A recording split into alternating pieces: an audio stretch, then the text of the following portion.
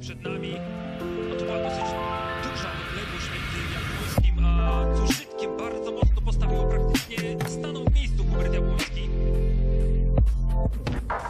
Tak, tutaj, tutaj stanął w miejscu tak naprawdę. No Michał Cużytek nie miał wyjścia, no nie miał już po prostu co zrobić. Nawet e, wydaje mi się, że nie spodziewał się, że Hubert Jabłoński e, zrobi no niemal bączka. Mamy już proszę Państwa informację, że Hubert Jabłoński jest z tego wyścigu wykluczony. To